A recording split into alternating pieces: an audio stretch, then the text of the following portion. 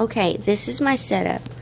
I bought some Floetrol in a two pack from Amazon. There's my um, burner thing, but I don't have any butane yet. Everything else I've pretty much bought from the dollar store.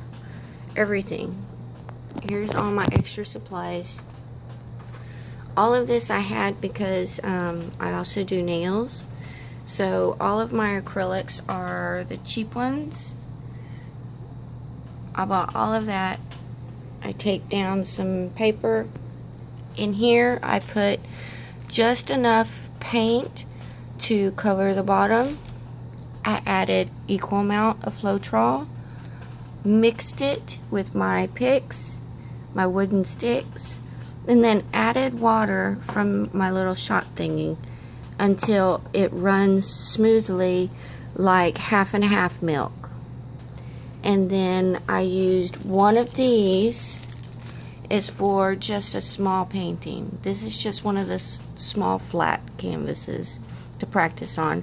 I got it from Amazon for like 10 or 12 pack for 6 bucks I think. And um, I just layered them started off with black white and then my primary colors I put a small base of white on the canvas first and that's basically it. I did a dirty pour flip cup and just let it do its thing. Thank you